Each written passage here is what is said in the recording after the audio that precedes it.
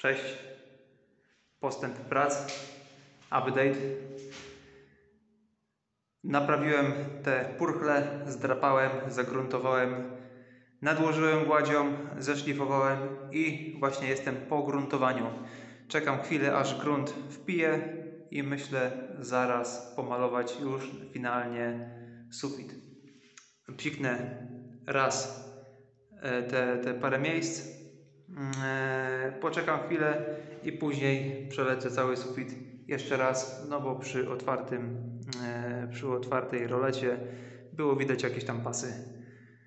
Mm, Więc chyba następnym razem, jeżeli będzie znów dalmatyńczyk, nie będę robił tego na, na jedno malowanie, bo i tak widać, że na nic się to zdało. Trzeba po prostu malować dwa razy i tyle.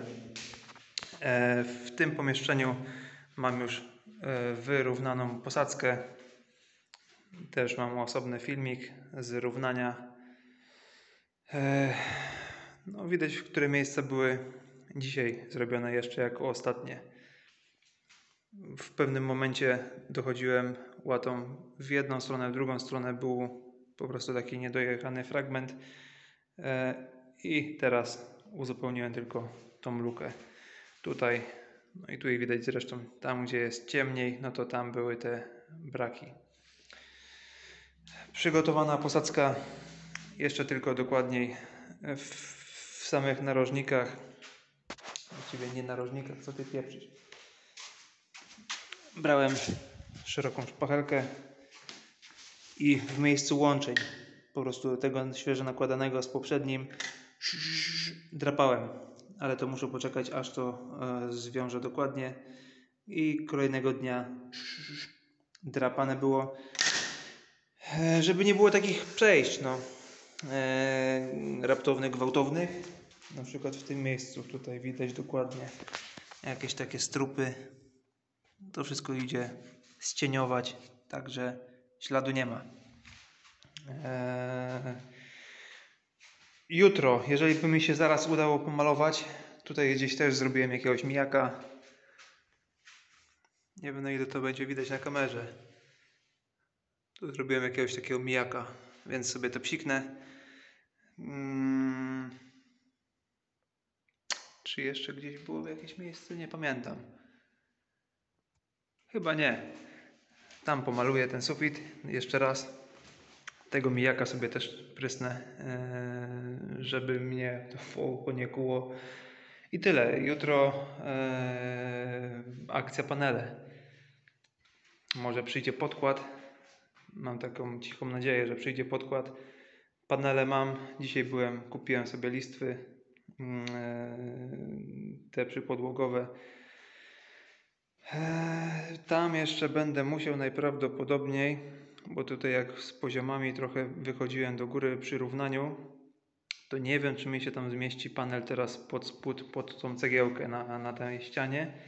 I to samo będzie tutaj, na tej cegle, łącznie z kominkiem, bo być może, być może nie zmieści się tam panel, więc trzeba będzie te cegły poddłubać, podciąć i pokażę w jaki sposób ja to wykonam, tak żeby się nie narobić, ale też żeby nie uszkodzić raz cegieł, a dwa, żeby to cięcie było równe, żeby tylko wjechać panelem i zapomnieć o temacie. Em, I tak, y, nie rozfoliowuję sobie teraz tego, no bo ten, ta farba z y, folii, jak spada, no to czepia się, e, jest namagnetyzowana, naelektryzowana, na... w każdym razie czepia się e, betonowych podłoży i jest bardzo ciężko ją usunąć. Dlatego położę sobie najpierw panele, a później z paneli jest to łatwiej zmieść. Dlatego nie ściągam tych folii zabezpieczających. Celowe e, zagranie nie po to, żeby tutaj jeszcze nie wiadomo coś poprawiać, malować, ale właśnie dlatego, że ona jakby przy, przylega, no, jak spadnie to przylgnie do podłogi, jest bardzo ciężko ją e, nawet odkurzaczem, trzeba by było raz koło razu rurą e, odkurzać. Także tak.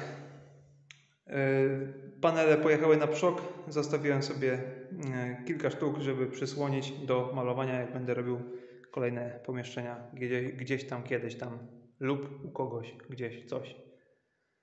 Bardzo fajne.